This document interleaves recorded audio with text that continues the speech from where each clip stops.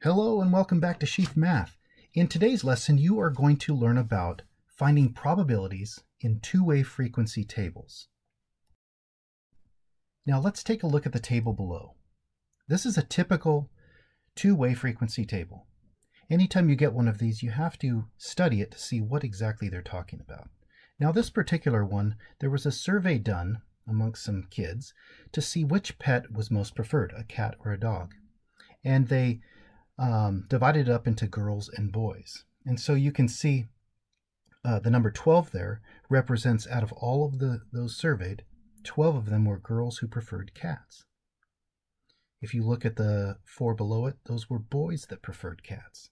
So it's not really that hard to understand what a two-way frequency table is. But there's one thing that I always suggest to my students that they do when they have a frequency table like this.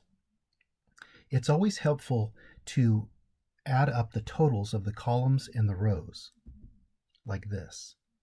I always suggest putting a total column and a total row so that you can see exactly how many girls and boys there were, how many cat lovers and dog lovers, and then the grand total in the bottom right, which is 40. Okay, this is very important, so I'm always going to tell you to put in your totals columns and rows. Now, looking at this same one again, you might get a question like this. What is the probability of a randomly selected person being a girl who preferred a dog? So the first thing we do is we look at the girls row, okay, and we look at the dogs column, and we find the number that matches those two conditions, 9. Now, it says of all of, of the randomly selected person, that means they're talking about out of all of those um, surveyed, how many were girls that preferred dogs. And so there were 9 out of 40. And this is our probability. The chances of you asking a kid uh, what they prefer, a cat or dog, there's a 9 out of 40 chance that it's going to be a girl who prefers a dog. And that's our final answer. Now, suppose we had this one. What is the probability of a randomly selected person being a boy who preferred a cat? So again, we look at the boys row and the cat column, and four of those surveyed were boys who preferred cats. And so of the 40 that were surveyed, the probability is a 4 in 40 chance. But we do want to simplify if we can.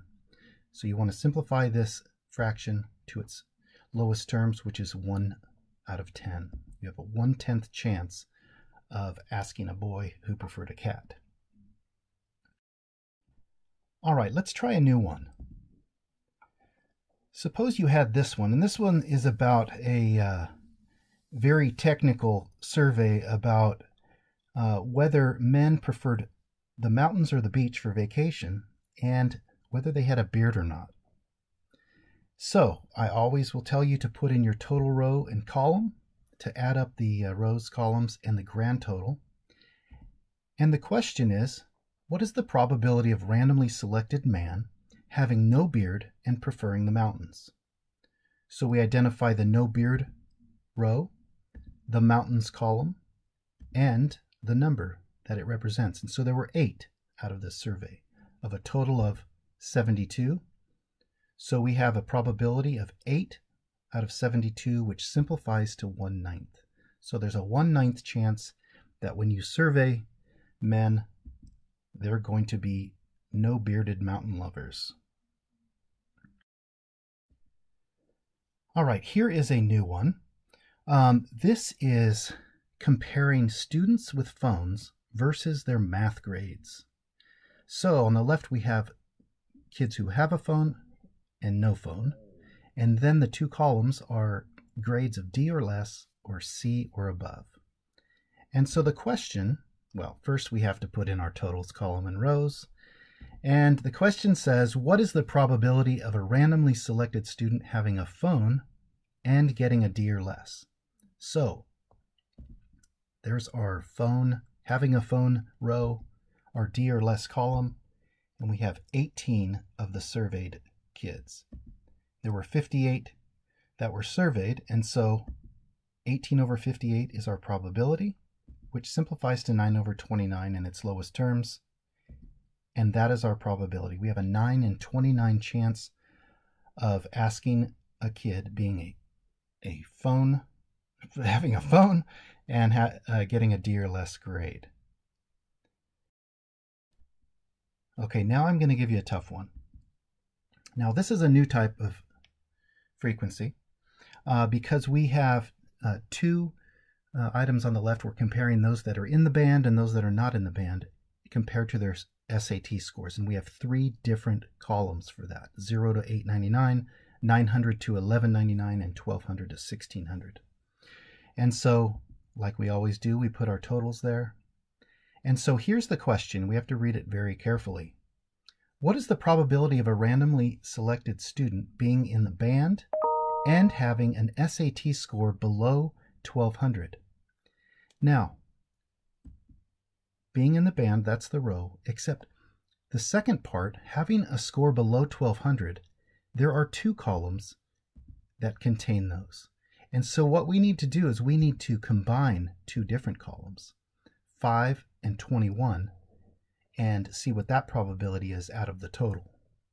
So we're going to add 5 plus 21 over 89, and our probability is 26 out of 89 chance of being in the band and getting a score below 1200. Okay? Now here's another tough one. This one's a really tough one. Not because it's that hard, but because you really have to read this question. What is the probability of those students who scored 1200 to 1600 being in the band?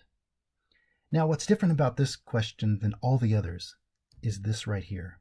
It doesn't say the probability of all those um, surveyed. It talks about a specific group. Only the 1200 to 1600 kids are they talking about. So there's 24 kids that were in the 1200 to 1600 range. So this is going to be the total that we're dealing with. Now the band, being in the band, there were 14 out of those 24. Okay, so this is going to be our chances of asking those 1200 to 1600 kids if they're in the band or not. It's a 14 out of 24 probability, which simplifies to 7 over 12, that being our final answer.